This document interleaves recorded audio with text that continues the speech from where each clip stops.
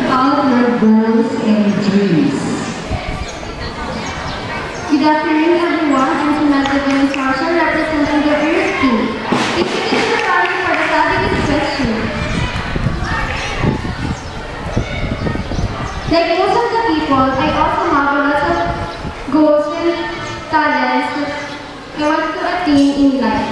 First is I want to be a doctor. Why? Because I want to help others. Second is I want to be a dancer and to uplift our Filipino pride. And to those who don't know, I'm a dedicated dancer. Thank you.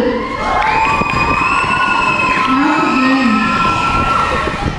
tell us about one life-changing experience in your life. Tell us about one life-changing experience in your life. Yun. Uh, magandang hapon sa lahat. Ako si Glenn Mateo.